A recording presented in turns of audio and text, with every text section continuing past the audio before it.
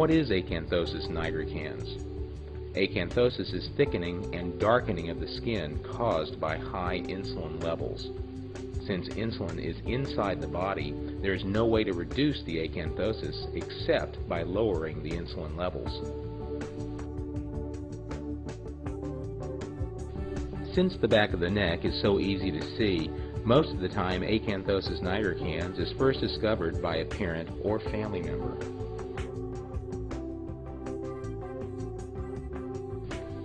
Acanthosis nigricans is not contagious and is not due to poor hygiene. Many parents mistake it for dirt. Since it isn't dirt, it should never be scrubbed off.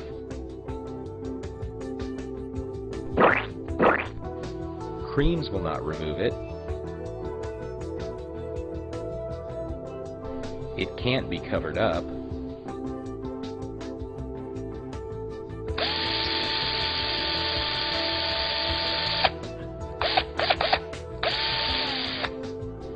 And most of all, don't go to extreme measures to try and remove it. We now know that acanthosis nigricans is caused by higher than normal levels of the hormone insulin. Skin cells react to these high levels of insulin by changing the level of color or pigment in the skin, but usually in skin that is always being stretched or rubbed. One frequently asked question is whether weight loss will remove acanthosis. Here is a teenage girl who lost 20 pounds over six months. Judge for yourself whether the acanthosis improved or not.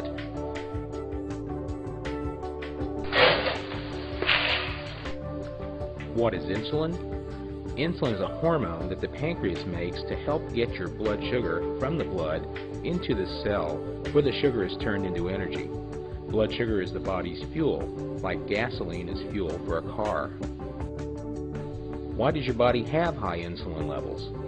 You have inherited the tendency for your insulin not to work well, or not be able to get the sugar from the blood into the cells. This is called insulin resistance. The more fat you have in your body, the more your insulin cannot do its job. So our pancreas makes more and more insulin to try to get the sugar from your bloodstream into the cells. Are high insulin levels dangerous? High insulin levels can contribute to developing diabetes, high blood pressure, and high cholesterol or extra fat in the blood. This is called the metabolic syndrome and eventually causes heart attacks and strokes.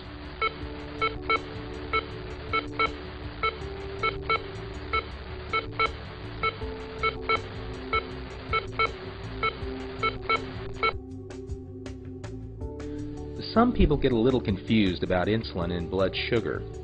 High levels of insulin in the blood is not diabetes, although it is the first step towards the disease for most people. Diabetes is abnormally high levels of sugar, or glucose, in the bloodstream. What is type 2 diabetes? The simplest definition is high blood sugar due to the lack of enough insulin to meet the needs of the body due to insulin resistance. Insulin resistance is often present for years before type 2 diabetes occurs. After years of fighting against insulin resistance, the pancreas starts to give up or burn out. It is the time during this battle between the pancreas and insulin resistance that provides us an opportunity to try and prevent diabetes before it's too late. We do it by trying to reduce the resistance through exercise and weight loss. The actual diagnosis of type 2 diabetes is made by a simple blood test. The normal ranges for blood sugar are well known. Any random blood sugar level over 200 is a reason to see a doctor immediately. Any fasting blood sugar between 100 and 125 is considered a sign of possible prediabetes. As you can see in this chart, the rate of adult diabetes in children has skyrocketed over the past 20 years in South Texas. According to a recent report from the U.S. Centers for Disease Control, diabetes will occur in one out of every three children born after the year 2000. Unless something is done soon, diabetes is expected to occur in one out of every two children born after the year 2010. What are the chances of you or others in your family getting diabetes? This depends partly on your genetics, what you inherited from your parents, and partly on how much fat is in your body. You can't change your parents, but you can change how much fat is in your body. If you read a food label carefully, you'll see that the recommended daily allowance, or RDA, for calories in a healthy adult are set at 2,000. This number actually changes a little from person to person and based on age, but the label can be a tremendous help to us in measuring our calorie intake if we pay attention to it. However, few of us are able to track every calorie we eat, and many of us don't want to or even to try. But this is how it works. For every extra 3,500 calories we eat, we gain one full pound of true body weight. Often this is mostly fat. Here's a practical, everyday example for you. Let's say you're a person who drinks an extra 200 calories each day, such as one 12-ounce regular soda pop, and eats an otherwise healthy diet. Did you know you can expect to gain one pound of extra fat in about two and a half weeks? Now try drinking two regular 12-ounce soda pops each day, and you'll gain that weight in half the time.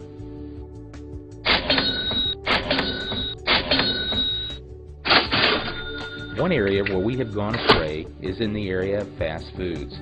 About 1 in 12 American families eats at a fast food restaurant every day. The type of foods served are loaded with sugar and fat, and the portion sizes are almost always excessive. In this example, a typical Big Mac, supersized order of fries, and a 16-ounce regular soda is equal to over 1,500 calories. For many younger children, this exceeds their calorie requirement for the entire day. Ultimately, we are responsible for the choices we make in life, both for ourselves and for our children. This is especially true in regards to the food choices we make. It is unfair to lay blame on others. It's our job to make smarter choices for ourselves and for our families. Don't get caught in the supersize trap. Exercise is just as important as healthy eating. Exercise is how you turn extra fat into muscle. Muscle helps the insulin to work better so your pancreas doesn't have to work so hard. Everyone should exercise about 30 minutes a day, 5 days a week. What kind of exercise should you do? Almost all exercise is good for you. Pick a kind that you enjoy. Some ideas are walking, dancing, running, swimming, football, tennis, dance video games, basketball, and baseball.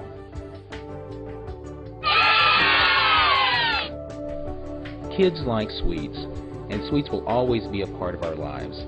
Unfortunately, we've lost sight of what is a normal amount of sugary foods and drink. Sweets should be used only for special occasions.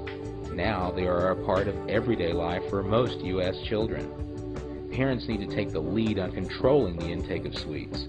Unfortunately, many parents are just as caught up in this cycle as their kids. Many of us spend far too much time sitting in front of a television set consuming unhealthy, high-calorie drinks and snacks. Research has shown that more than two hours a day of television viewing and video game time causes obesity at any age. Now, let's review. You've learned that acanthosis nigricans can be a sign for a condition called insulin resistance.